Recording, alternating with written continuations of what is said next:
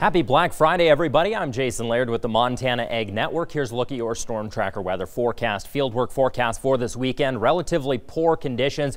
Pretty decent snowstorm moving in late Friday into Saturday, and that's going to allow for uh, not a great one. All right. Winter weather advisory, all the areas highlighted in blue, and a winter storm warning on the far western portions of Montana. Likely going to see snow accumulations in the immediate vicinity of the Rocky Mountain front, one to three, possibly up to five to eight in the mountains. But the main impact of this system is going to be south central and southwestern Montana. So bumping us up to Saturday morning. There's that big dip in the jet stream that's allowed for for that cold Arctic air to slide in. That system's going to shift out. We're going to see a nice ridge of high pressure build in on Sunday into Monday. That's going to clear weather conditions up very, very nicely late Sunday into Monday. We'll see that snow burn off very, very quickly. Likely a little bit breezy, though, late Sunday into Monday as that next system kind of builds in. But really, this next week is going to shape up and trend very well. So long term, six to 10 days out, we're looking at uh, quite a bit more precipitation across Montana expected. However, a little bit warmer